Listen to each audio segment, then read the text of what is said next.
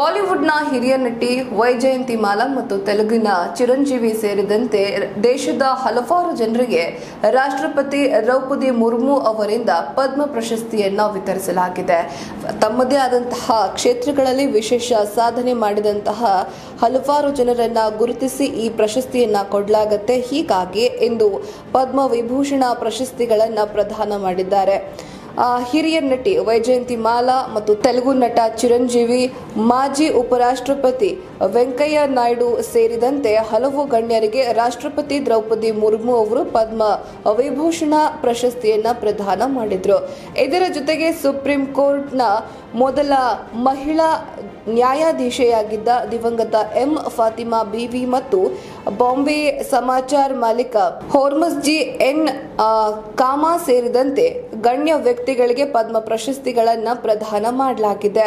ತೊಂಬತ್ತು ವರ್ಷದ ವೈಜಯಂತಿ ಮಾಲಾ ಮತ್ತು ಚಿರಂಜೀವಿ ಅವರಿಗೆ ಪದ್ಮ ವಿಭೂಷಣ ನೀಡಿದ್ರೆ ಬಿವಿ ರಾಜಗೋಪಾಲ್, ವಿಜಯಕಾಂತ್ ರಿಂಪೋಜಿ ಮತ್ತು ವ್ಯಾಸ್ ಅವರಿಗೆ ಪದ್ಮಭೂಷಣ ಪ್ರಶಸ್ತಿ ನೀಡಲಾಯಿತು. ಇನ್ನು ಉಪರಾಷ್ಟ್ರಪತಿ ಜಗದೀಪ್ ಧನ್ಕರ್, ಪ್ರಧಾನಿ ನರೇಂದ್ರ ಮೋದಿ ಮತ್ತು ಕೇಂದ್ರ ಗೃಹ ಸಚಿವ ಅಮಿತ್ ಶಾ ಸೇರಿದಂತೆ ಅನೇಕ ಗಣ್ಯರು ಈ ಕಾರ್ಯಕ್ರಮದಲ್ಲಿ ಉಪಸ್ಥಿತರಿದ್ದರು. ಇಂದಿನಿಂದ ಚಾರ್ ಧಾಮ್ ಯಾತ್ರೆಗೆ ಆರಂಭವನ್ನ ನೀಡಲಾಗಿದೆ, ಪ್ರಾರಂಭಿಸಲಾಗಿದೆ. ಮತ್ತೆ ವರ್ಷದಲ್ಲಿ ಎರಡು ಬಾರಿ ಅಥವಾ ಆರು ತಿಂಗಳಿಗೊಮ್ಮೆ ಈ ಒಂದು ಚಾರ್ ಧಾಮ್ ಯಾತ್ರೆಗೆ ಚಾಲನೆಯನ್ನ ನೀಡಲಾಗುತ್ತೆ ಅಥವಾ ಅವಕಾಶವನ್ನ ಮಾಡಿಕೊಡಲಾಗುತ್ತೆ. ಈ ಚಾರ್ ಧಾಮ್ ಅಂತ ಅಂದ್ರೆ ಗಂಗೋತ್ರಿ, ಯಮುನೋತ್ರಿ ಕೇದಾರ್ನಾಥ್ ಮತ್ತು ಬದ್ರಿನಾಥ್ ಪುಣ್ಯಕ್ಷೇತ್ರಗಳಿಗೆ ಯಾತ್ರೆಯನ್ನ ನಡೆಸುವಂಥದ್ದು. ಹಿಂದೂಗಳ ಪವಿತ್ರ ಯಾತ್ರೆಗಳಲ್ಲಿ ಧಾಮ್ ಯಾತ್ರೆ ಕೂಡ ಒಂದಾಗಿದೆ. ಕೇದಾರ್ನಾಥ್ ಹಾಗೂ ಬದ್ರಿನಾಥ್ ಧಾಮಗಳು ಮುಂದಿನ ದಿನಗಳಲ್ಲಿ ಭಕ್ತರ ಸಂಚಲನದಿಂದ, ಸಂಚಾರದಿಂದ ಜೇಂಕರಿಸಲಿದೆ ಎಂದಿನಿಂದ ಧಾಮ್ ಯಾತ್ರೆ ಆರಂಭವಾಗಲಿದೆ. ಹಿಂದೂಗಳ ಪವಿತ್ರ ಯಾತ್ರೆಗಳಲ್ಲಿ ಚಾರ್ ಧಾಮ್ ಬಹಳ ಮಹತ್ವವನ್ನು ಪಡೆದುಕೊಂಡಿದೆ.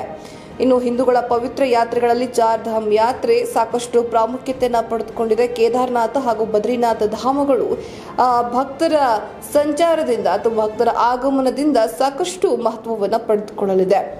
ಇಂದಿನಿಂದ ಚಾರ್ಧಾಮ್ ಯಾತ್ರೆ ಆರಂಭವಾಗಲಿದೆ. ಆರು ತಿಂಗಳಿಗೊಮ್ಮೆ ಈ ತೆರೆಯುವಂತಹ ಈ ಯಾತ್ರಾ ಸ್ಥಳಗಳಿಗೆ ದೇಶ ವಿದೇಶಗಳಿಂದ ಸಾಕಷ್ಟು ಜನ ಯಾತ್ರಾರ್ಥಿಗಳು ಭೇಟಿ ನೀಡ್ತಾರೆ.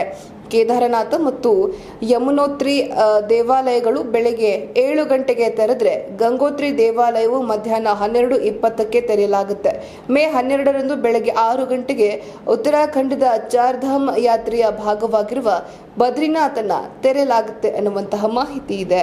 ಪಶ್ಚಿಮ ಬಂಗಾಳದ ಸಂದೇಶ್ ಖಾಲಿಯಲ್ಲಿ ನಡೆಸಲಾಗಿತ್ತು ಅನ್ನುವಂತಹ ಲೈಂಗಿಕ ದೌರ್ಜನ್ಯ ಪ್ರಕರಣದಲ್ಲಿ ಇದೀಗ ಬಿಗ್ ಟ್ವಿಸ್ಟ್ ಸಿಕ್ಕಿದೆ. ನಮ್ಮ ಮೇಲೆ ಯಾರು ಕೂಡ ದೌರ್ಜನ್ಯ ಎಸಗಿಲ್ಲ.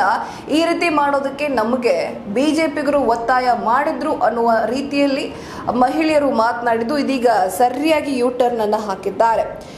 ಈ ಮೂಲಕ ಭಾರಿ ಟ್ವಿಸ್ಟ್ ಸಿಕ್ಕಿದೆ ಪ್ರಕರಣಕ್ಕೆ. ತಮ್ಮ ಮೇಲೆ ಟಿಎಂಸಿ ಮುಖಂಡರು ಲೈಂಗಿಕ ದೌರ್ಜನ್ಯ ಎಸಗಿದ್ದಾರೆ ಅಂತ ಆರೋಪಿಸಿದ್ದ ಮೂವರು ಮಹಿಳೆಯರ ಪೈಕಿ ಇಬ್ಬರು ಯು ಟರ್ನ್ ತೆಗೆದುಕೊಂಡಿದ್ದಾರೆ. ನಮ್ಮ ಮೇಲೆ ಯಾವುದೇ ರೀತಿಯ ದೌರ್ಜನ್ಯಗಳು ನಡೆದಿಲ್ಲ.